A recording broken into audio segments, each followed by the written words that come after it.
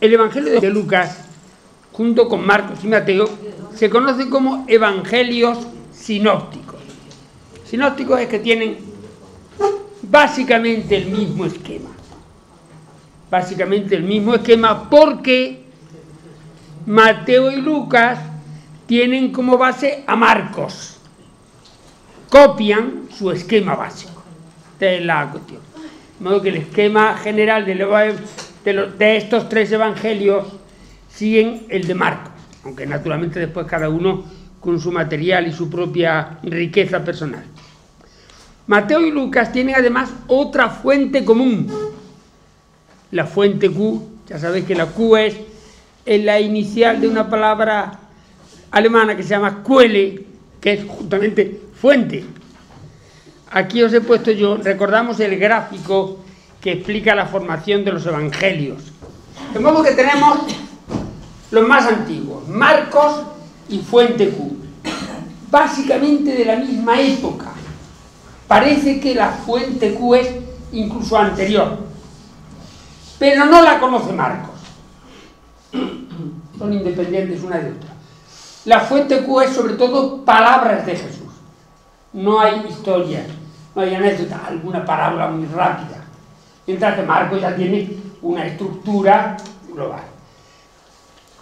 Marcos y la fuente Q llegan a Mateo y a Lucas. Porque ellos tienen esa ventaja de que ya cuentan con dos fuentes previas. Además de esta, Mateo tiene sus propias fuentes. Por ejemplo, el Evangelio de la Infancia, totalmente de Mateo, está en otro lado. Una serie de parábolas que son solo suyas, los grandes discursos, Mateo. Y Lucas tiene sus propias fuentes, Lucas 1. También el Evangelio de la Infancia, tan distinto del de Mateo, y una serie también de parábolas que son solo suyas, sus peculiaridades, en fin, ya lo iremos viendo. Bueno, ya saben, esta fuente Q no se conserva, pero se han hecho enormes esfuerzos de reconstrucción porque tanto Mateo como Lucas a veces la copian al pie de la letra. Claro, cuando tú tienes dos pasajes que están en Mateo y en Lucas, dice, y son lo mismo, dice, pues estos que han copiado de otro, que por eso se ha sacado lo de la fuente. ¿eh? Idéntico, muchas veces vamos literalmente copiar. Y aparte está el Tomás, el Evangelio de Tomás, que es apócrifo, y que se descubrió en 1945 en una traducción copta. Se sabía que existía. Lo citaban antiguamente ese Evangelio, pero en fin, no tenido sentido influencia porque, claro, se quedó allí en, Egipto, en, en el Nahamadi, que era un, convento. Los egipcios tuvieron, bueno, los monjes egipcios tuvieron un esfuerzo increíble en traducir al copto, el copto como su nombre es el egipcio, la lengua que ellos hablaban, todavía la liturgia se celebra en esa lengua, por lo menos también, y tradujeron, con, la ventaja que tienen los papiros es que en climas secos se conserva muy bien. Por eso hay un material tan inmenso sobre Egipto porque todo aquello está allí, intacto. La humedad los machaca. Pero como aquí es un desierto, bueno, no, me quiero alargar más, es que después me chilláis, y con razón. ¿Vale? Tenemos pocos datos sobre Lucas, pocos. Se suele identificar con el nombre que aparece en varias cartas, por ejemplo, Colosenses, Recuerdos de Lucas, el médico querido. Ah, era médico. Bueno, es un dato que tenemos ahí de, pasada. Lucas. Otra, solo Lucas está conmigo, dos Timoteo. Ya sabéis que esta carta, aunque dice que es de Pablo, no es de Pablo, pero en fin, aparece. Otra más, esta sí es de Pablo, la carta a Filepón, y dice, y también recuerdos de Marcos, Marcos es el evangelista, Aristarco, Dimas y Lucas, mis colaboradores. De modo que tenemos enganches de que ha estado en contacto con estas personas. Tenemos he puesto esta Lucas pintor, sabéis que hay una tradición de que Lucas era pintor y que tiene una serie de pinturas de María, la Madre de Jesús. En concreto allí en Roma, si habéis visto alguna vez enfrente de San Juan de Letrán, está lo que se llama la escala santa. Son, ya sabéis, este tipo de cosas, pero en fin, allí te enseñan con muchísimo aplomo un, icono que se lo pintó San Lucas a la Virgen María. Hombre, el icono es preciosísimo. A ver si los de esto. Está claro. Que, bueno, es para tener idea de esto que era la imagen, la tradición de que era pintor. Ya nos metemos en harina. Lucas es el único evangelista que hace una declaración sobre fuentes y motivos de su obra. O sea que en ese aspecto es como más formal y más serio. Los otros empiezan en directo. Y leo la parte, esta es la introducción que él hace a su evangelio. Dado que muchos han intentado hacer una exposición ordenada de los hechos que se han verificado entre nosotros, según lo que nos transmitieron quienes desde un principio fueron testigos oculares y llegaron a ser garantes del mensaje, he resuelto yo también, después de investigarlo todo de nuevo con rigor, ponerlo por escrito de forma conexa, excelentísimo Teófilo, para que compruebes la solidez de las enseñanzas con que has, con que has sido instruido. Este, este párrafo es bellísimo en griego. O sea, se lució. Porque tiene un estilo muy bonito. Lucas, aquí anda, perdón, aquí, aquí estuvo, nosotros le llamamos el CODE, José Ignacio, hablando sobre derecho humano. Nuestro amigo Code, que somos compañeros en la redacción del diccionario griego-español del Nuevo Testamento, un trabajo largo en la Universidad de Córdoba. Y durante bastante tiempo él venía desde Jaén, pasaba por Andújar, íbamos juntos para allá, volvíamos, porque es una vez a la semana, nos vemos allí los miércoles, dos horas de trabajo. Y él escribió este libro léxico de frecuencias del, Evangelio de Lucas para los alumnos en el instituto, realmente pues, había la tradición de enseñar Lucas, no por temas religiosos, sino porque tiene un estilo muy bello en griego. Y es sencillo. Otros dicen que no, que tiene que... Bueno, eso es otro tema, me meto en él. Pero vamos, él ha hecho este libro para ayuda de los muchachos que, o muchachas que estudian el griego. Teófilo parece que no es una persona, sino que es la comunidad a la que se dirige. Teófilo significa, eh, como diría, Dios, amigo de Dios, sería el, significado Teófilo. Al principio de los hechos, sabéis que lo hecho de los apóstoles también lo escribió Lucas, Lucas alude a la primera parte de su obra, que es su evangelio, o sea que tenemos la conexión clara. En mi primer libro, querido Teófilo, traté de todo lo que hizo y enseñó Jesús desde el principio. O sea, que él ha dejado claro lo que es la vida, la historia de Jesús y la primera comunidad. Lucas escribe para comunidades cristianas procedentes del paganismo. Esto es muy importante. O sea, en su época ya está, para él, definitivamente superado el tema de judíos, no judíos, paganos, etc. Ese tema está superado, él ya ha entrado en una órbita de universalidad del mensaje y por tanto temas legales para él son muy secundarios. Redactó el Evangelio más cosmopolita, ya está en la cultura griega, forma parte de la cultura griega, y con mejor estilo literario. Un resumen anticipo de la actividad de Jesús, según Lucas, se explicita en la sinagoga de Nazaret. Es lo que se ha llamado el discurso programático de Jesús. Y vale la pena entrar en él porque a partir de ahí nos damos cuenta, podemos decir que se trata del discurso programático de Jesús. Y lo leemos. Con la fuerza del Espíritu regresó Jesús a Galilea y la noticia se difundió por toda la comarca. Estamos hablando después del bautismo, y la época en que estuvo allí en contacto con el Bautista, no sabemos cuánto tiempo, pero él estuvo un tiempo allí, hasta que encarcelaron a Juan Bautista.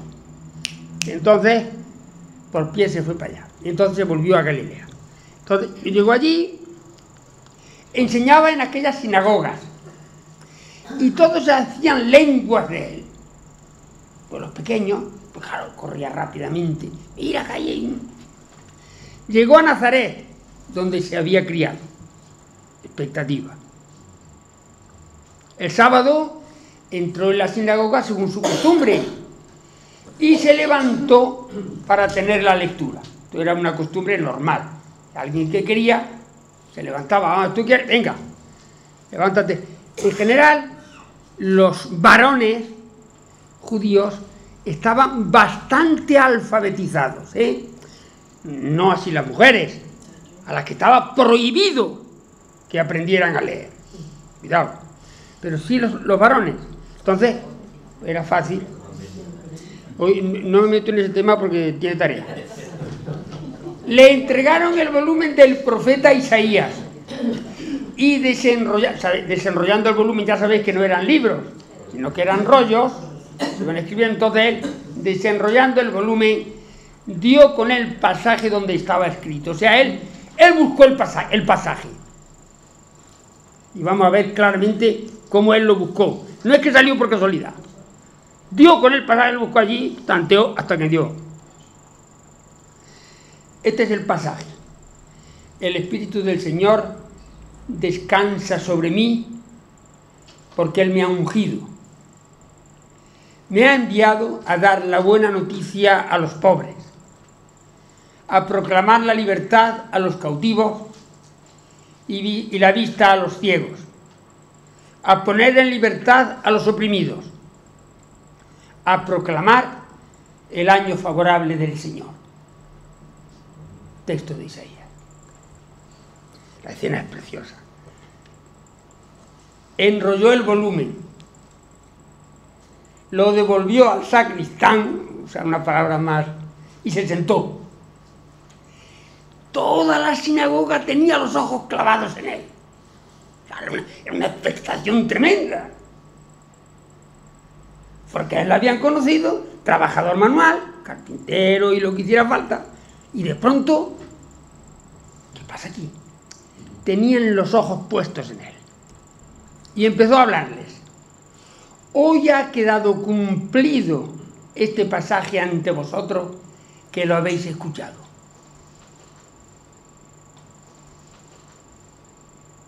A partir de este versículo 21 existe una importante discrepancia en la interpretación. Esto es lo que yo quisiera explicaros, a ver si sé hacerlo.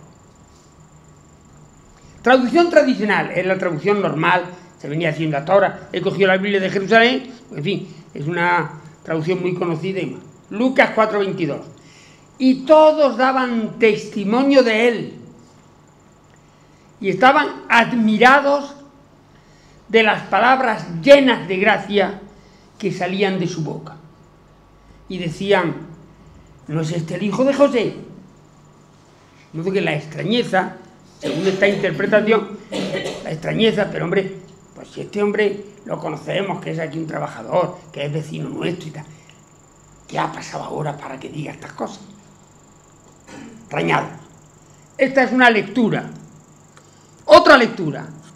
Una traducción innovadora que es la de Juan Mateo. Recuerdo esto porque nosotros, con Juan Mateo, cuando yo estaba con él de alumno en Roma, más de una vez discutimos intensamente sobre este tema. De verdad, tengo yo en esto una, especial recuerdo.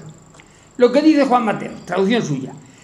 Todos se declaraban en contra.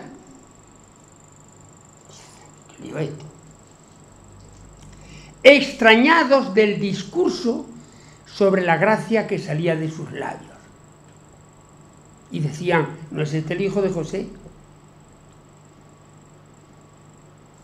¿Os dais cuenta que... ¿Qué ha pasado aquí? Bueno, pues, para comprender el sentido del pasaje hay que tener en cuenta que Jesús hizo trampa. leyendo al profeta Isaías.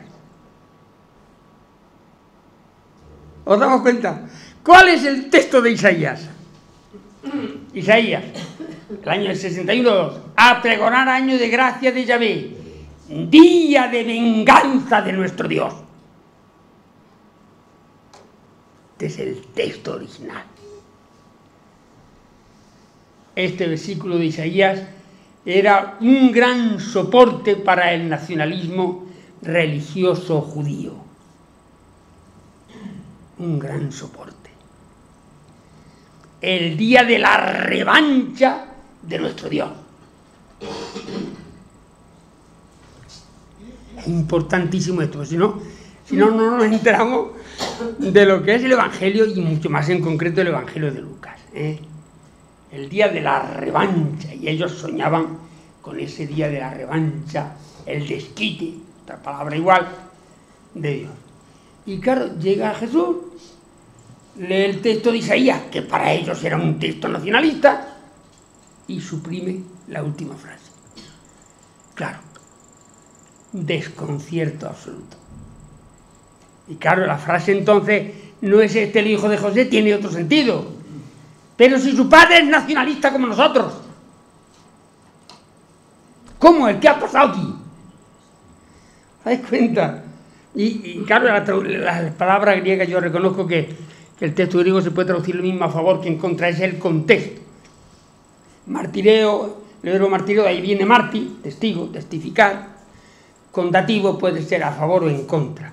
Pero claro, el contexto te ayuda. Y ahora vamos a ver, vamos a seguir, porque esto, esto no se para aquí.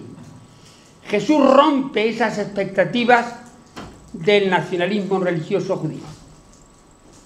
Por eso es programático, que en su pueblo mismo haga esta presentación, es programático. No hay revancha por parte de Dios. Solo hay misericordia. Esto es mucho. Esto es muchísimo. Mucho. Él le repuso, seguramente me citaréis el proverbio de aquel, médico, cúrate tú. Todo lo que nos has dicho que ha ocurrido en esa Cafarnaún, hazlo también aquí en tu tierra. Y añadió, os aseguro que a ningún profeta lo aceptan en su tierra. Fijaos, el profeta es incómodo, rompe esquemas, traspasa caminos trillados, desconcierta, crea inseguridad, irrita. Esto tenemos que darnos cuenta. Las religiones dogmáticas, en concreto judaísmo, cristianismo, islam, son religiones dogmáticas, son estáticas, estáticas, mm, terriblemente resistentes a los cambios. Porque claro, la verdad es absoluta y entonces ya no se puede mover. ¿Os dais cuenta? Entonces, claro, los profetas todos a lo largo de la historia han creado enormes conflictos. No me meto en esto, ¿eh? si no estamos perdidos. Se comprende la indignación de sus paisanos. Jesús desmonta sus esquemas culturales y religiosos. Por eso Jesús se playa, os vais a enterar ahora. Porque, porque Él sigue. Pero no os quepa duda de que en tiempo de Elías, cuando no llovió en tres años y medio y hubo una gran hambre en toda la región, había muchas viudas en Israel. Muchas viudas en Israel. Y sin embargo, a ninguna de ellas enviaron a Elías pero sí a una viuda de Sarepta en el territorio de Sidón, que no era judía. ¿Os dais cuenta? Claro, eh, son, unos trayazos los que pega Jesús. Y en tiempo del profeta Eliseo había muchos leprosos en Israel. Y sin embargo, ninguno de ellos quedó limpio, pero sí Naamán, el sirio, que no era judío. ¿Veis? Jesús les, quiere abrir la mente. Que no, que Dios no es exclusivista. ¿Qué pasó? Claro, los profetas, ahora veréis.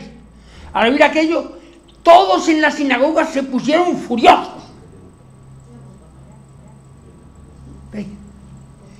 El Dios es solo para nosotros, que somos los buenos y los elegidos y los recogidos.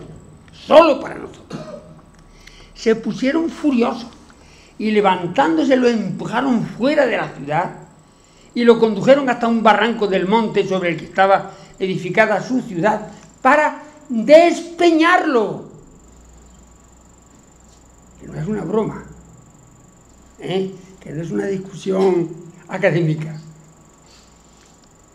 Pero él se abrió paso entre ellos y emprendió el camino.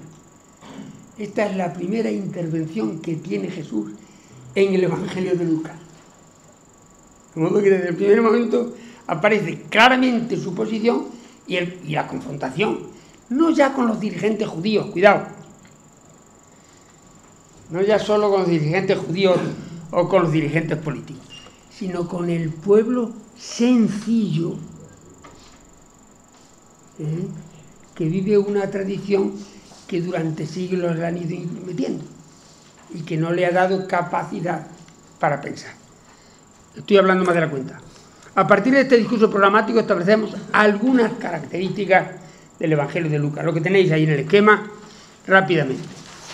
Es el Evangelio que mejor expresa la misericordia divina gratuita y universal. Este, esto es genial, comprendo que ha sido insuperable. Parábolas de la misericordia exclusivas de Lucas, tenemos el samaritano, solo en Lucas, ¿eh? el samaritano, solo en Lucas, la drasma perdida, solo en Lucas, una mujer, ahora volveremos sobre esto, el Padre misericordioso, se suele decir el Hijo pródigo, pero es error. ¿eh? Lo que ahí se describe no es al Hijo, es al Padre, el Padre misericordioso. Vale la pena subrayar la parábola del Padre misericordioso. Algún dato que quiero, la conocéis, por tanto yo paso y hago nada más que unas cuantas cosas. Cuando aún estaba lejos, lo vio su padre y se conmovió. un verbo ahora para esplagniste. En realidad, la traducción santa sería, se le conmovieron las entrañas. Salió corriendo, se le echó al cuello y lo cubrió de besos. Es, es increíble. Es increíble la descripción con cuatro palabras lo que dice Lucas. El verbo splagnizomai se deriva, se deriva del sustantivo splagnon, que es entraña. ¿Eh? Entraña. Es una palabra con resonancias maternales. Es importante esto. Eso lo aplica a Dios. Hombre, aquí hay una cosa, una felicitación, mira por dónde la coincidencia con la tercera cuando nos mandaron. Por la entrañable misericordia de nuestro Dios nos visitará el sol que nace de lo alto. Traducción literal. Por las entrañas de misericordia de nuestro Dios. Es un antropomorfismo duro. ¿Eh? A Dios, entrañas de Dios y entrañas de misericordia. Las entrañas en la antropología hebrea y griega son la sede de los sentimientos y de las emociones. Es importante este dato, porque claro, hablamos siempre en plan de metáfora. No podemos... También en español tenemos la expresión una persona sin entrañas, ¿no? ¿Eh? Sin compasión, sin sensibilidad. Porque las entrañas es justamente la compasión, la sensibilidad, la ternura. ¿Veis? Esto tiene su... Lucas emplea un antropomorfismo fuerte y hasta escandaloso para expresar la ternura de Dios. Ojo, ojo, el hijo menor no vuelve arrepentido a casa del padre, cuidado. Ahí nos han mentido. Bueno, han mentido. Nos han distorsionado la realidad. El hijo vuelve arrepentido y su padre lo perdona. No. El hijo no vuelve arrepentido, vuelve fracasado y hambriento. Esa es. ¿Cuántos jornaleros en casa de mi padre comen todos los días y yo no como. ¿Eh? Fracasado y, hambriento. Pero lo importante para el padre es que su hijo ha vuelto. ¿Veis? Que quedó de perspectiva tan distinta y tan sugerente. Ante la reacción del padre, el hijo menor ya no es capaz de terminar su discurso. ¿Recordáis el discurso de él? Dice, voy a mi padre y le diré, Padre, he pecado, te he ofendido al cielo y te he ofendido a ti, ya no soy digno de llamarme hijo tuyo. Recíbeme al menos como a uno de tus jornaleros. Llega, le dice, te he ofendido, el padre lo abraza, tal, tal. Y entonces el hijo ya no es capaz de decir, trátame como a uno de tus jornaleros. O sea, ya se dio cuenta de que hasta hubiera sido una ofensa para su padre decirle eso. Ahí es cuando él descubrió quién era su padre. El comportamiento del padre, esto es muy importante, ¿eh? resulta desconcertante y escandaloso para el hijo mayor, el observante. Cuidado, que Lucas tiene mucha mala leche. Perdonad que os lo diga así de claro. ¿Eh? Escandaloso. El Dios de Jesús sigue siendo ese gran desconocido incluso para personas creyentes, observantes y fieles, como se proclama y lo es el hijo mayor. Yo nunca te he desobedecido, le dice él. Nunca te he desobedecido ninguno de tus mandatos. Ahora viene este hijo tuyo y le da un banquete y a mí no me das ni un cordero. Pero si esto es tuyo, joder. Cuando has querido un cordero, llévatelo y, y cómetelo con tus amigos. No te has sentido en la casa de tu Padre. Aunque has cumplido todos los preceptos. ¿Veis? Es que es mucho más serio. La experiencia del Dios de Jesús es mucho más seria que eso. La parábola deja un gran interrogante. También aquí es genial. Lucas es genial. Entra el hijo mayor al banquete y se queda fuera. ¿Veis? Porque es la pregunta que nos hace a todos. La parábola no es algo que pasó históricamente y no, no. Es el reto que hace a toda persona que se acerca al mensaje de Jesús. Esa gran pregunta es la que nos hacemos cada persona creyente. ¿Qué Dios tenemos interiorizado y experimentado? Esta es la gran pregunta. A veces oye a unas personas que te dicen, ¿me habrá perdonado Dios? Madre mía. ¿Veis? Yo creo que ya está bien, ya no admito. El último rasgo definitivo de la misericordia de Dios Lucas, esto también es muy hermoso. De verdad, creo que es muy hermoso. Jesús en la cruz. Fijaos, Padre, perdónalos que no saben lo que están haciendo. Qué bárbaro qué categoría de persona. Te lo aseguro, hoy estarás conmigo en el paraíso, al buen ladrón. De las siete palabras, tres están en Lucas, y solo en Lucas. Padre, en tus manos pongo mi espíritu. Y dicho esto, expiró. La experiencia de confianza absoluta en su Padre. Otra característica del Evangelio de Lucas, pues ya me estoy colando con ganas, ¿eh? Especial protagonismo de las mujeres. He dudado en, coger, pero he querido este, porque me parece que es importante. Entonces, de los muchos temas que tiene Lucas, muchísimos, y muy sugerentes, yo he hecho esta opción. ¿Estamos? Mateo niega todo protagonismo a la mujer en el Evangelio de la infancia, ¿recordáis? Solo aparece el nombre de María cuando llegan los magos de Egipto, los magos de Oriente, y encontraron a María con su hijo, ahí. Las demás veces siempre es el patriarca José, el ángel se, aparece al patriarca, huye a Egipto, vente de Egipto, tal, tal, tal. Y María es un bulto, que él lleva para que vaya en consonancia con la cultura patriarcal. O sea que refleja la cultura patriarcal. Fuerte contraste con el Evangelio de la infancia en Lucas. Veréis, qué cosa tan distinta. Y me he permitido hacer una cosa curiosa. En comparación de las dos anunciaciones, ¿recordáis? Está la anunciación a Zacarías y la anunciación a María, están en el primer capítulo del Evangelio de Lucas, el Evangelio de la infancia. Y dice, mirad, mirad, vamos rápido, porque claro, esto Zacarías y María, ¿la veis? Zacarías, varón. María, mujer. Ah, mujer, fatal. Enseñar, decía una de las muchísimos refranes, enseñar la escritura a, las mujeres es como echar eh, la comida a los cerdos. Varón, mujer.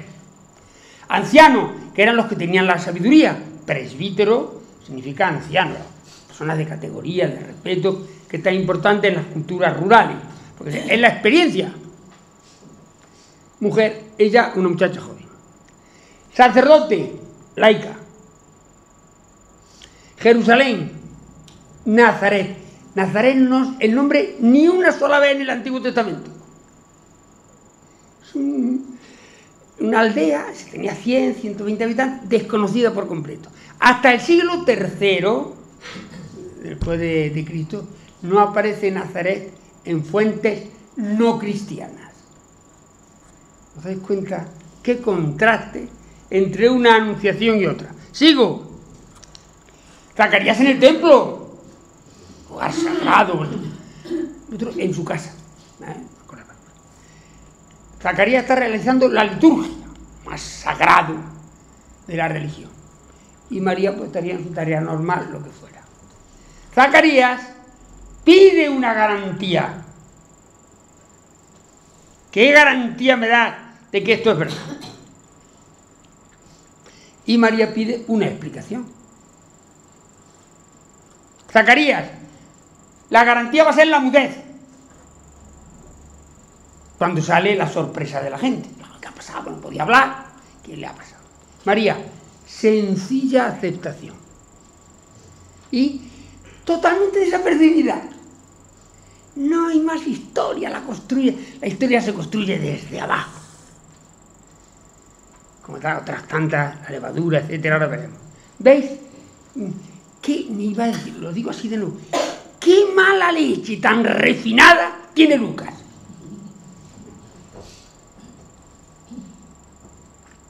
Lucas recoge ante, los sentimientos de una mujer, ¿eh? recoge los sentimientos de una mujer, Isabel. Esto se lo debo al Señor, que ahora se ha dignado librarme de esta vergüenza mía ante la gente. Ya sabéis que para él no tener hijos, ser estéril, era una humillación y una vergüenza permanente. Más cosas. María toma la iniciativa de visitar a su primo por su cuenta. Ahí no parece que consulte con. Nada. Salud y cántico de María Isabel, ya lo conocéis, pero en fin, me tengo que ir deprisa. ¿Veis? Hay una autonomía de actuación por parte de María, siendo una muchacha joven, que va, hombre, que, que tiene su distancia, desde Galilea hasta Jerusalén, hasta. Bueno, hay, en Karim, que está allí al lado, a 10 kilómetros de Jerusalén. María proclama en el Magnífica la acción liberadora de Dios como subversión del orden social. Subversión del orden social. A los hambrientos colma de bienes y a los ricos los despide vacíos que tiene tarea. ¿eh? Tiene tarea. Isabel decide el nombre de su hijo. No, se va a llamar Juan. ¿Veis? Hay un protagonismo de la mujer en todos estos pasajes. Ya después viene el padre también y escribe, bueno, vale. Pero la que lo dice es Isabel. María, que está encinta, va con José a Belén. Los pastores encontraron, ves tú, aquí sí, a María, a José y al niño recostado en el pesebre, la familia. María, por su parte, conservaba el recuerdo de todo esto, meditándolo en su interior. De modo que vuelve de nuevo sobre ese mundo interior de la mujer y de su reflexión. Nuevo protagonismo de María durante la presentación de Jesús en el templo. Todos estamos en el Evangelio de la infancia. Fijaos qué diferencia con Mateo. Simeón los bendijo y dijo a María, su madre, mira, este está puesto para que en Israel unos caigan y otros se levanten. Y como bandera discutida. Protagonismo de María en el templo en medio de los doctores. Este, este es interesantísimo también. Es María la que reprocha a Jesús su forma de actuar. Y aquí están los doctores de la ley, los grandes véspes. Y no es su padre, no es José, es María, la que llega allí al verlo quedaron impresionados y le dijo a su madre, hijo, ¿por qué te has portado así con nosotros? Mira con qué angustia te buscábamos tu yo. La iniciativa ha sido de la madre y no del padre. Solo Lucas tiene el relato de la viuda de Naín con su hijo único muerto. ¿Recordáis cuando se acercó una considerable multitud de la ciudad le acompaña? Al verla, el Señor, yo subrayado eso en letrilla, el Señor. El Señor indica que ya es un texto simbólico, no histórico. No es Jesús. El Señor se conmovió y le dijo, no llores. Solo Lucas relata el episodio de la mujer pecadora en casa del fariseo, el único evangelio que, trata este, que tiene este episodio. Escena de Marta y María solo en Lucas. Dos mujeres simbolizan la antigua y la nueva alianza. No hay apóstoles ni discípulos. Cuidado. Es una escena donde hay solo mujeres y Jesús que está allí frente a las múltiples tareas de Marta, observancia legal no da abasto. La multitud de leyes que no sabe que no, hay manera de cumplirlas. Frente a ellas solo importa el reinado de Dios. Solo una cosa es necesaria. Entonces se ha explicado como vida activa y contemplativa. De eso nada. que la vida contemplativa, las monjas, no es que me meta con ella, que tengo no, pero que no tiene nada que ver con este texto. ¿eh? Pero el Señor, otra vez, el Señor, simbolismo, le contestó, Marta, Marta, andas preocupada e inquieta con tantas cosas. Solo una es necesaria. Sí, María ha escogido la parte mejor y esa no le será quitada. Otra intervención de mujer referida solo a Lucas, está muy buena. Mientras él decía estas cosas, una mujer entre la multitud alzó la voz y le dijo, dichoso el vientre que te llevó y los pechos que te criaron. Que está clarísimo que el lenguaje castizo es, viva la madre que te parió. Y fue una mujer la que dio ese grito. Pero él repuso mejor, dichosos los que escuchan el mensaje de Dios y lo cumplen. Lucas utiliza la doble figura masculina y femenina en paralelo ¿eh? en numerosas ocasiones. Esto es técnica de Lucas que no están en los demás evangelios. Por ejemplo, presencia paralela del anciano Simeón, recordáis, en el templo, y la profetisana. De modo que están un varón y una mujer. Solo Lucas narra el grupo de mujeres que acompañan a Jesús en paralelo con los doce. Esto era demasiado escandaloso. Los otros evangelistas no se arriesgaron a ponerlo. Así de claro. Así de claro. Lo acompañaban los doce y algunas mujeres curadas de malos espíritus y enfermedades. María, la llamada Magdalena, de la que habían salido siete demonios, todos. Juana, la mujer de Cusa, intendente de Herodes. Susana, y otras muchas que les ayudaban con sus bienes. Claro que era extrañísimo. En una sociedad patriarcal que hubiera juntos varones y mujeres. Era extrañísimo. Juana, mujer, mujer de esta, el de intendente de Herodes de era una mujer casada con un no judío. Por lo tanto, quedaba excluida de Israel. ¿Eh? Sin embargo, esta mujer, excluida de Israel, Jesús incorpora a las personas social o religiosamente excluidas. ¿Veis qué cantidad de matices tiene este Evangelio. Parábolas en paralelo de la oveja, de la oveja y de la moneda perdida. Las dos seguidas. Mira, qué cosa tan sugerente. Si uno de vosotros tiene 100 ovejas y se le pierde una, no deja las 99 en el campo y va en busca de la descarriada hasta que la encuentra. E inmediatamente después, y si una mujer tiene 10 monedas, la dracma, ¿no? 10 monedas de plata y se le pierde una, no enciende una lámpara, barre la casa y busca con cuidado hasta encontrarla. Varón y mujer, los dos. Otras dos parábolas en paralelo. Grano de mostaza y levadura. ¿A qué se parece el reinado de Dios? ¿Con qué lo compararé? Al grano de mostaza que un hombre sembró en su huerto creció, se hizo un árbol y los pájaros anidaron en sus ramas. inmediatamente después, a la levadura que metió una mujer en medio quintal de harina y todo acabó por fermentar. Las mujeres que hubieran escuchado esto dicen, este hombre no sabe de qué está hablando. ¿Qué mujer es capaz de amasar 25 kilos de harina? La utopía. Fascinante. Eso que parece imposible, que es una locura, que se ve inicialmente como algo, va fermentando, va entrando en la masa social, en la masa social, y va madurando, se va abriendo camino hasta que toda fermenta. Sea, estas dos parábolas son preciosas para todo lo que es la, utopía social de un cambio de sociedad. Así lo veo yo. En el camino al Calvario, recordáis, Jesús consuela a, las hijas de Jerusalén, no lloréis por mí. Otro dato importante, las mujeres juegan un papel definitivo, definitivo, en la experiencia cristiana de la resurrección de Jesús. También esto ha quedado orillado.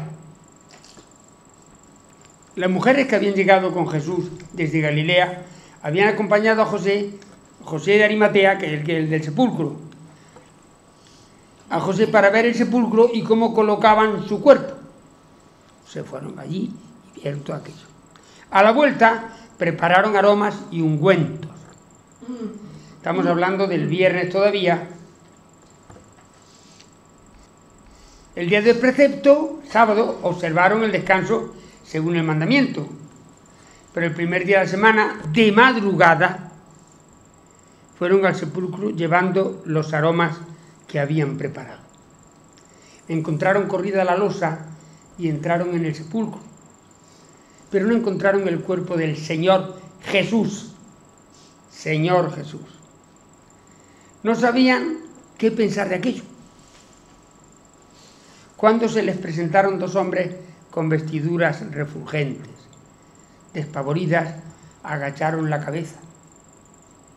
Pero ellos les dijeron, ¿por qué buscáis entre los muertos al que está vivo? No está aquí, ha resucitado. Acordad de lo que os dijo cuando estaba todavía en Galilea. Os dijo, está hablándole a las mujeres. El Hijo del Hombre tiene que ser entregado en manos de hombres descreídos, ser crucificado y al tercer día resucitar. Recordaron entonces sus palabras, volvieron del sepulcro y anunciaron todo esto a los once y a todos los demás. Eran, que quede claro, María Magdalena, Juana, recordáis, la mujer de Cusa, María la de Santiago, otro parece que es el apóstol, también las demás, junto con ellas, se lo decían a los apóstoles, pero ellos tomaron sus palabras por delirio y se negaron a creerlas. Pedro, sin embargo, se levantó y fue corriendo al sepulcro, asomándose, vio solo las vendas y se volvió a su casa extrañado de lo ocurrido. Se volvió solo. Ellas estaban juntas. Es importante subrayar me estoy colando y estoy nervioso. Es importante subrayar la experiencia que estas mujeres tuvieron en su trato con Jesús. Esto es lo que yo quiero subrayar. En una sociedad tan férreamente patriarcal y tan brutalmente machista, ellas se sintieron tratadas como iguales y no como seres inferiores. Esto fue la gran experiencia y la gran revolución que hizo Jesús a esa escala. Jesús les ayudó a descubrir su propia dignidad como personas y como mujeres. Esta experiencia transformó sus vidas. Tras la muerte de Jesús, aquellas mujeres se resistieron a aceptar que todo había terminado, que es lo que pensaron todos los demás. Ellas fueron las que se... No, esto no puede ser mentira, porque nuestra experiencia es de tal calibre que no puede ser mentira. Sus vidas se habían transformado de un modo mucho más profundo de lo que había sucedido con los discípulos varones. Mucho más profundo. Porque los otros seguían soñando con tener su cargo y su puesto, estar a la derecha, a la izquierda, a ver quién era más o quién era. La visión del Mesías tradicional que tenía Israel. Y aquella transformación no tenía retorno. Esa transformación no tenía retorno. Por eso no se abandonaron al fracaso. Resistieron al desconcierto de un modo mucho más tenaz y más valiente. Ay, perdonad, ahora quiero, quiero terminar. Anda, no me lo he traído yo ese librillo. Es un artículo que yo escribí en el diario Jaén en 1994, haciendo la reseña de un libro que se llama Jesús, mm, Jesús ese hombre nuevo. Es un periodista alemán, Frank Alt, que realmente es sugerente. Es un periodista y lo que hace es un reportaje sobre Jesús. Él dice que, aquel Jesús que, que le habían enseñado lo dejó porque no tenía ningún sentido, pero que después lo había recuperado leyendo cosas, leyendo en directo y tal. Y entonces, pues, tiene otra. Y tiene un. Vamos, yo el título de mi artículo era Jesús y las mujeres, porque tiene un capítulo especial. Y estas son las frases de este. Dice: Ni Buda ni Mahoma, ni Aristóteles, ni Platón trataban a las mujeres con tanta libertad de espíritu, con tanta igualdad, espontaneidad y naturalidad como Jesús. Qué bonito. Dicho desde una perspectiva no creyente. Otro más. De las mujeres aprendió Jesús, de las mujeres aprendió Jesús que ante todo hay que proteger a los débiles. Es una intuición fenomenal. Y esta es una idea femenina maternal. ¿Veis cuántas veces en África vemos exilio, éxodo? Las, madres con sus hijos, se acuestan sobre el suelo, maternal. Jesús invierte la escala. Sigue hablando el Franz Alt, ¿eh? Jesús invierte la escala de valores del patriarcado. Lo que cuenta no es la nacionalidad ni el sexo,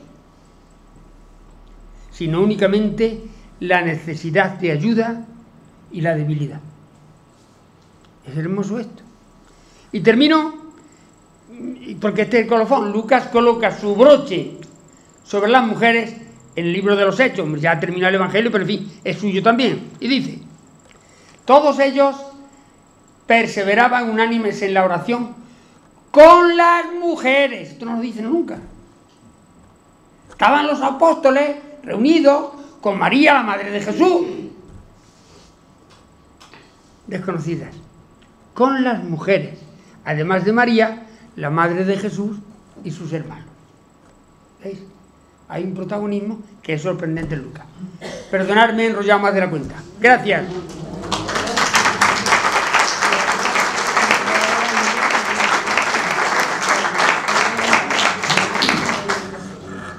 A ver, Dino. Yo creo, que has pasado un tema muy ligero y creo que necesitamos una explicación más, más concreta lo de el Señor. Vamos a ver el otro día ya salió algo de esto cuando hablamos de... Los evangelios no son biografías de Jesús. No son biografías. Son testimonios de fe. Por tanto, en ese testimonio de fe, ya ellos tienen una experiencia de fe, que es el Señor Jesús. No Jesús de Nazaret solamente, eh, la persona que vivió en aquella época, recorrió aquello esto y murió crucificado. Además de eso está el Señor Jesús, que es la frase de Pedro en los Hechos de los Apóstoles. Que sepa todo Israel que a este Jesús al que habéis crucificado, Dios lo ha constituido Señor y Mesías. Este es el salto, que ya es un salto de la fe, naturalmente. No sé si... Eh, has dicho que cuando se nombra a Jesús como Señor, esto, tiene un carácter, una carga simbólica más que real. Sí, sí. Yo entiendo que no es casual. ¿eh? No es casual, sino que efectivamente ellos quieren subrayar que el relato de Marta y María no es un hecho histórico, sino que a través de un relato, a través de un relato, Lucas quiere decir que realmente el agobio de las prescripciones legales no conducen a nada, sino nada más que a un agobio. Mientras que lo importante es una sola cosa, el compromiso por el reinado de Dios.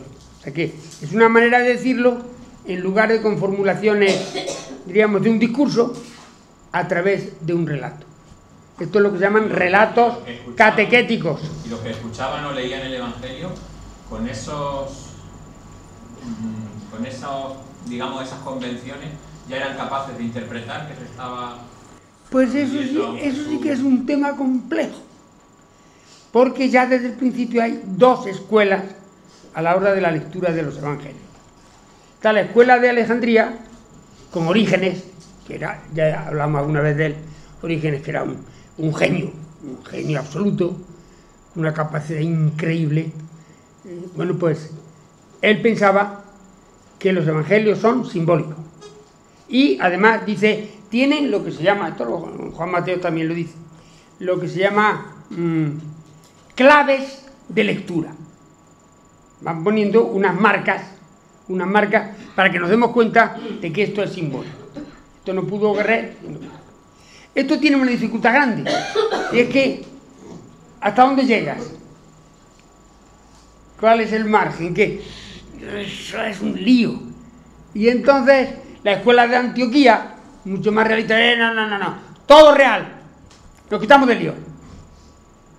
Y que es lo que más o menos ha prevalecido en la iglesia durante mucho tiempo. Todo es histórico y todo real. Y así no hay problema. ¿Ves? No es fácil de, de aclararse. Cuando en alguna de las parábolas o de, la narrativa se habla de algún milagro y surge la palabra o la palabra Señor, entonces ese Señor era el Jesús que hacía el milagro o, era solamente una narración, no era un hecho real histórico. El tema de los milagros eh, tiene mucho más lío. ¿eh? En ese Frank Alt, el libro ese que yo he citado, dice una frase preciosa. Dice que Jesús hizo un descubrimiento, meternos en cómo fue aquello, un descubrimiento que es, las personas enferman por el miedo y se curan por la confianza. Qué bien, qué bien formulado. Entonces, ¿qué hace Jesús? Transmitir confianza. Esa expresión que muchas veces es, tu fe te ha curado, ¿eh? tu fe te ha salvado, es la palabra. Se puede perfectamente traducir, tu confianza te ha curado. Esto es el sanador. El sanador no es ninguna tontería, es un valor sociológico. Es personas que tienen la enorme habilidad o capacidad, o como queramos, de transmitir confianza de forma que la persona saque a flote todos los recursos que tiene dentro. Pero es que por mucha confianza que tenga un ciego, No, hombre, ya, eso ya se entiende. Ya. Lo del ver es otra cosa ahí. ya, Lo de- por ya lo veremos en... Por eso entonces será mm, narrativa o... Es, es narrativa. Es relatos no históricos. Que esa curación no es física, sino que es simbólica la apertura a la fe. Es otra cosa. Aunque ellos lo expresan en sentido físico, claro. El Evangelio de Lucas principalmente eh, es histórico, puesto que Lucas lo que hizo fue documentarse y coger las fuentes que tenía antiguas y irlas analizando, estudiándolas y contándolas, lógicamente. Es por eso por lo que a Lucas se le conoce como el precursor del humanismo cristiano. El precursor del humanismo cristiano. Bueno, no había oído yo esa frase, pero que efectivamente sí lo es, sí lo es. Tiene, en parte, por ser mm, una persona de cultura helenista, tiene más amplitud de visión que los que tiene solamente una cultura, una visión... Por dedicarle mucha incidencia a la persona humana. Exactamente, sí, sí. Evangelio es dedicado más a la persona humana que resalta. ¿no?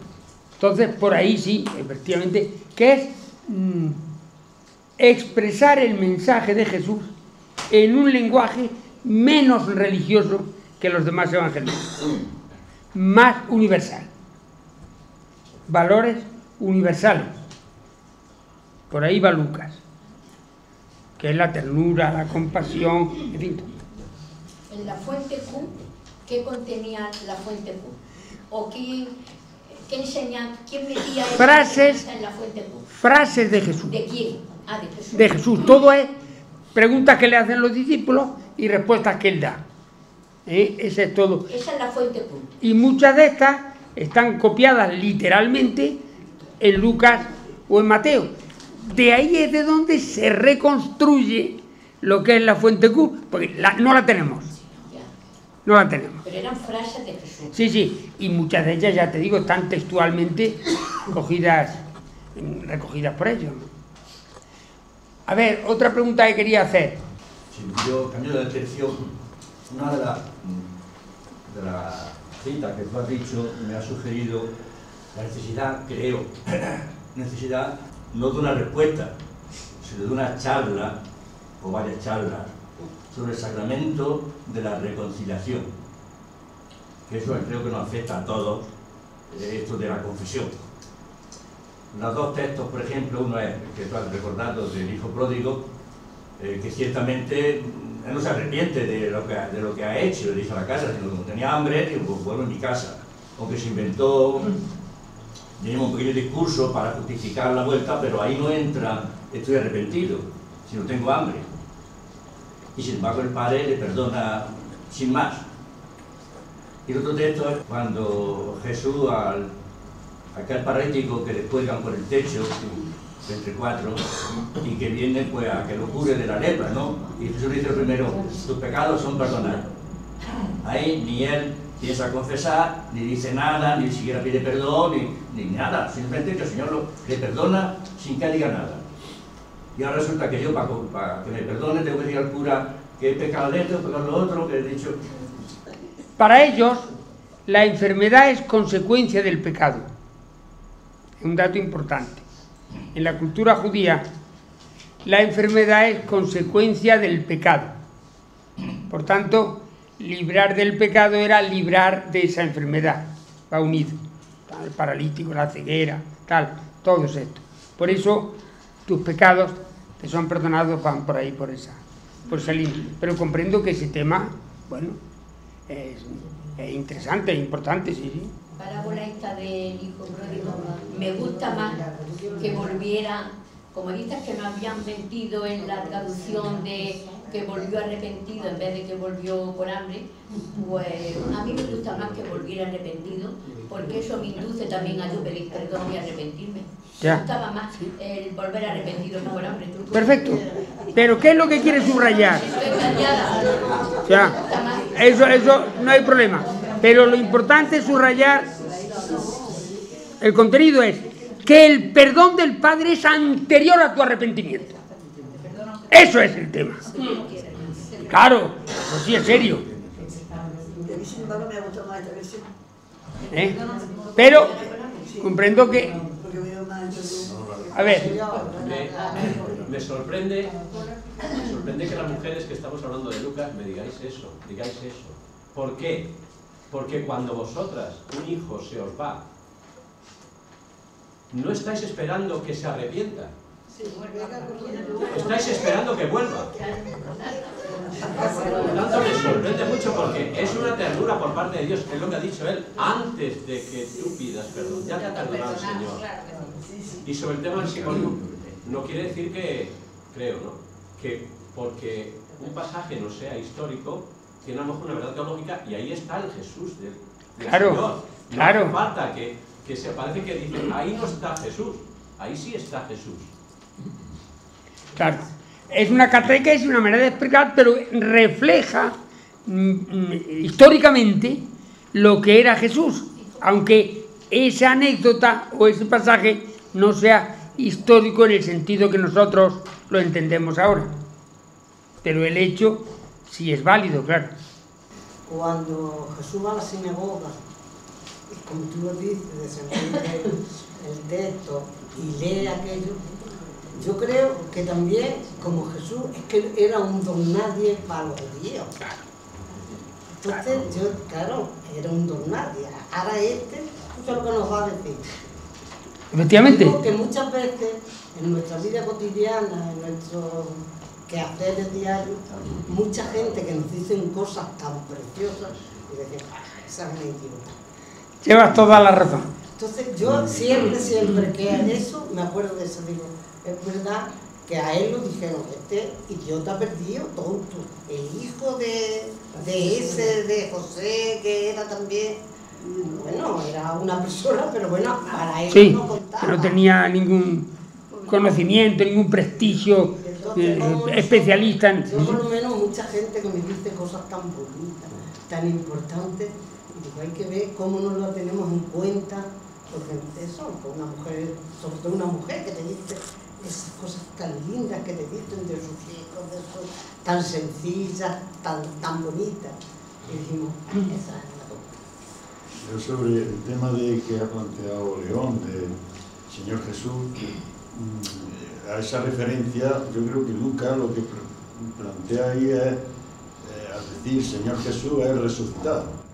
Claro, o sea, Ese está Jesús, Claro. Jesús de Nazaret, Jesús histórico, pero eh, el resucitado ya es el Señor. Entonces, claro, o sea, que efectivamente, por eso he dicho, he citado esa frase de, de Pedro, hay quien en cree Jesús de Nazaret. Pedro en los Hechos de los Apóstoles, ¿no? Que es de Lucas también, ¿eh? Que Dios lo ha resucitado y lo ha constituido Señor y Mesías. O sea que es, ellos ven, ven la vida de Jesús sabiendo el final de la película, para entendernos. Ellos ya saben todo entero, lo que ha pasado, que ha muerto en cruz y que ha resucitado. Y claro, eso colorea todo lo que después narran sobre su vida. Es inevitable. Tema, el tema que has tocado de la confianza es que es muy importante, pero confianza por, en, en doble... Cuando Jesús va a su, a su pueblo, a Nazaret, ¿eh? dice los evangelios, no pudo hacer ningún milagro, Eso fue Marcos, eso está en Marcos, sí, porque sí. no creían en Porque no querían, de ninguna manera. Es decir, cuando, y eso, no, eso es un bloqueo desde la humanidad, desde lo que somos. Si una persona, eh, a cualquiera de nosotros, dice, bueno, ¿de ti qué voy a esperar? Ahora si dice, mira, yo, de verdad, bueno. eres un tío extraordinario, tú haces todo lo posible, porque esa persona, le- por hacerle eh, feliz o acompañarla o solucionar el problema. Eso es de mucha humanidad. ¿eh?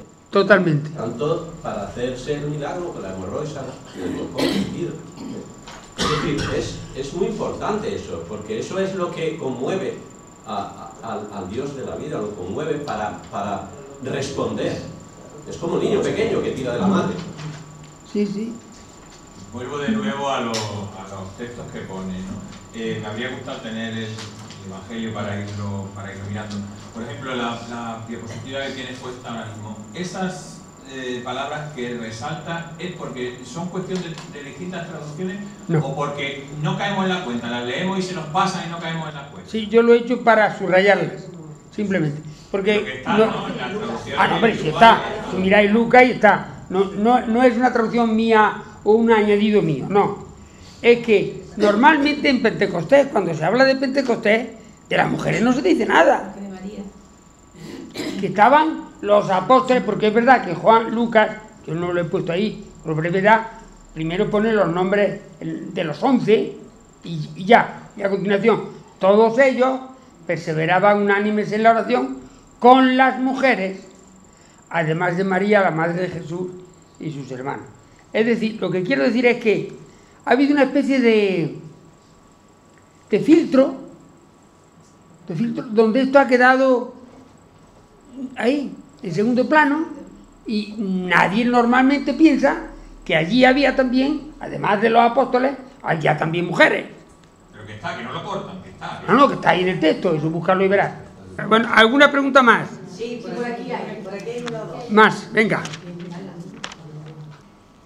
Eh, yo me he preguntado mucho, si Jesús estaba tanto con las mujeres, ¿por qué a la hora de escoger los doce apóstoles no escogió a alguna mujer? Entre ellos. Entre los. No lo sé. Yo no te puedo responder a eso. Me imagino que las condicionantes culturales eran tan fuertes que hubiera sido imposible. Pero paralelamente tenía otros. A ver, otra pregunta por aquí. Ahí al final decía que estaba en la oración las mujeres y demás, la madre, la María, la madre de Jesús, y su hermano. ¿Qué parientes eran esos? Los, los hermanos de Jesús. El Evangelio ahí aparece que Jesús tenía al menos siete, cinco. Está José, Santiago, esto aparece en Marcos y en Mateo. Pero además el, el jefe de la comunidad de Jerusalén era Santiago, el hermano del Señor. Ese es el título que hacen siempre de él. Santiago, el hermano del Señor. ¿Cómo? No nos confundimos, porque yo soy de hermano, ¿cómo eran esos hermanos? Hermanos, hermanos, lisa y llanamente hermanos. El otro día vino el lío este. A ver, la virginidad de María, es que claro, son tantos temas, la virginidad de María es teológica. Ahora explico. No física. Y explico. ¿Qué significa virginidad teológica? María siempre virgen significa María siempre fiel. María siempre virgen, María siempre fiel. Este es el sentido que tiene, que no es un sentido físico, es un sentido teológico. ¿eh? En Marcos y en Mateo, como la cosa más natural, cuando va Jesús a, Nazaret, vamos a ver, pues no es este el hijo de María, y su hermano no están aquí con nosotros, Santiago, José, mm, el otro, bueno, no, Marcos no, y, y sus hermanas no viven aquí con nosotros, Sabemos que al menos tenía dos hermanas. No sabemos los nombres. Esto es lo que aparece en Marcos y en Mateo. De modo que el significado es teológico. Eh, el que quiera después pensar que es físico, no es problema, pero lo importante es. Pero que es importante. una respuesta.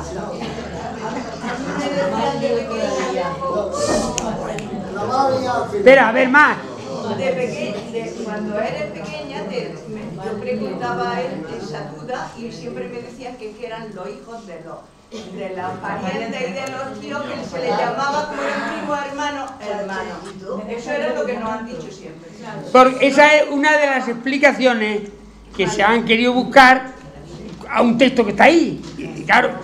Entonces, dentro de la, de la tradición cristiana, pues ha habido efectivamente distintas. Porque María Virgen, antes del parto, en el parto, después del parto, Eso sí que no aparece en los evangelios para nada. Ahí no hay nada de eso. Lo único es si es que se acepta lo que dice Mateo, que es una concepción virginal. No en Lucas, sino en Mateo.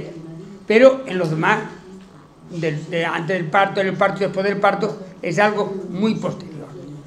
entonces, como hay un texto ahí que habla de sus hermanos, bueno, ¿esto, esto qué quiere sentido? Pues mira, eran hijos de un matrimonio que antes tenía José.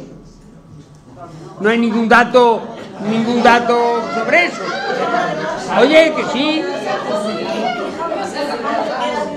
Por eso, por eso a José siempre lo pintan muy mayor, muy mayor, porque ya él se había casado, había tenido seis o siete hijos y después se casó con María. Pero Sí. A ver, Inma quiere hablar, que viene desde Madrid, se lo merece. La elección de los doce es histórica o la han puesto los evangelistas a lo mejor para porque eran varones y... Más bien parece que no es histórica, ¿eh? que es simbólica. Doce para una continuidad de las doce tribus de Israel. ¿eh? El nuevo Israel. Y el nuevo Israel, doce. Entonces a lo mejor no, eligió a ninguna mujer porque fueron los evangelistas. Los estos después redactan y ponen ese. Y de hecho, en muchos de estos solo tenemos el nombre, no hay ningún dato más de ellos, de ninguna actividad ni de nada, ¿no?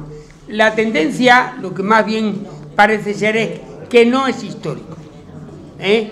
sino que es simbólico el nuevo Israel. Y además, eh, no eran todos los. No tiene que ver con la jerarquía, porque luego. Ah, no, nada. de Jesús. Nada, o sea. Era, el, dirigente y no era. Vamos a ver. Jesús no pretendió fundar una religión. Es que hay que empezar por ahí. Jesús no pretendió crear una religión. Por tanto, todo lo que es la organización de esta religión es tarea humana. Organización humana, que naturalmente que tiene derecho a hacerlo. Ahora, con un detalle, no invocando a Dios para esa organización. Es una organización humana, necesaria en cualquier colectivo dándote las normativas que quieras, mejores o peores, con derecho a cambiarlas, por supuesto, etc. Claro, si dices que está hecho desde el principio, que esto es así, pues claro, es inmutable, nos volvemos locos. No quiso fundar ninguna religión. Que quede esto claro. Por tanto, toda esa organización era simplemente simbólica de que el nuevo Israel, que el otro estaba situado en torno a la ley, con la expectativa de un Mesías revanchista, etcétera, y es este nuevo Israel abierto a toda la humanidad, abierto a toda la humanidad, sin prescripciones legales, sin prescripciones legales y con una sola tarea, una sola, realizar la fraternidad humana. Ese es el reinado de Dios. Es que es muy simple. Esas no son palabras de Jesús, pero un, detalle pequeño. Mira, Jesús hablaba arameo, arameo. Y sabemos que a Pedro le llamaba Kefas o Cefas. El juego de palabras Petros, Petra, es griego. Y Jesús no hablaba griego. Ya tenemos un dato importantísimo. No hablaba. Segundo, o sea, más, más datos sobre eso, ¿no? Entonces, está claro que es una construcción evangelista. Más datos. Este texto, ¿quién dicen los hombres que soy yo? Unos dicen que tal, tal, tal, pues tú eres. Solo Mateo dice ese texto. Ni en Marcos, ni en Lucas aparece esa frase. Luego, está bastante claro que es una construcción hecha por Pedro para subrayar el papel que tuvo Pedro a posteriori en el Congreso de Jerusalén, en, el, este de Jerusalén, donde sirvió hombre, sí que nada más que es que es muy curioso, porque los dos primeros jefes de las comunidades cristianas, ninguno era apóstol. En Jerusalén era el hermano del Señor y en Antioquía era, era Pablo. Con, una, con un detalle curioso. Ni Santiago era aceptado por Antioquía, ni Pablo era aceptado por Jerusalén. Quedamos. O sea, que construyamos una realidad humana normal. Que existen tensiones, maneras distintas de ver la vida. Una armonía, no. ¿Cuál fue el papel de Pedro? Tuvo la gran intuición de conjuntar esta comunidad doble a base de requisitos mínimos mínimos. Que no le obliguemos a nadie a comer carne tal. Pipas. Pipas. Y ya, lo demás. ¿Ves? O sea que el tema ese de Pedro no es histórico. ya está admitido por todos los especialistas. Los papas que siguen siendo sucesores de Pedro fue por esa capacidad que tuvo Pedro de unir a la iglesia. Claro, pero otro dato, Pedro no fue nunca obispo de Roma. Nunca. No había obispos en tiempo de Pedro. A ver. ¿Tú discutes mucho eso con los curas? ¿El qué? estamos hablando aquí.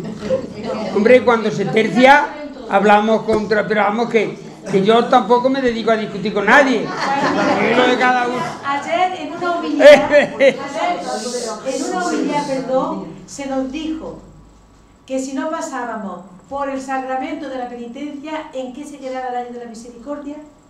En que, en que nos perdona aunque no pasemos. Esa es. Que si no pasábamos por el sacramento de la penitencia, de la confesión, que para qué este año de la misericordia que se Ah, que para que eso. Oye, que eso lo digan quien lo han establecido. Pero, ¿eh? ¿y los miles, y los miles de millones que no son creyentes, que no son cristianos? ¿A eso no los perdona Dios? por favor. A ver. Aquellas comunidades, aquellas comunidades que no tienen, que no tienen disponible un cura porque no hay cura y porque van cada, cada cierto tiempo. Si no se confiesan, entonces nunca se va a perdonar. No lo perdona Dios. Está claro, vamos, de, vamos desmontando, progresivamente vamos desmontando mitos. La confesión es útil para aquella persona a la que le ayude. Vale. Es un instrumento valioso. Hay personas que necesitan de alguna manera enfrentarse consigo misma y les ayuda el tener. Si esto es casi un psicólogo, si queremos. Le ayuda el situarse y tal. Vale. Utilízalo como instrumento. En el momento en que lo haces obligatorio lo has machacado. Pero además sabéis desde cuándo es obligatorio, ¿no? Lo expliqué yo una vez desde el siglo XIII. San Agustín, San Agustín no se confesó nunca en su vida. San Agustín. Nunca. Y sin embargo, San Francisco de Borja se confesaba todos los días. Madre mía. ¡Qué agobio! Como vamos a terminar ya, ya. Yo, yo lo único que quisiera es que porque para mí el Evangelio de Lucas es extraordinario. Yo creo que lo que ha dicho Pope es una realidad. Yo lo voy a decir en dos palabras también, pues más mi pueblo. Que en el Evangelio de Lucas podríamos resumirlo en dos grandes palabras revolucionarias por completo. La primera palabra es misericordia, revoluciona por completo el concepto de Dios. Y la segunda palabra es la palabra mujer, porque revoluciona por completo el sentido y el honor de cada ser humano, sea como sea. Y son palabras revolucionarias en los tiempos de Jesús, después y en el siglo XXI. Por desgracia, no entendemos ninguna de las dos. Ojalá que la entendiéramos. Ha hecho un broche de oro fenomenal. Se merece un aplauso.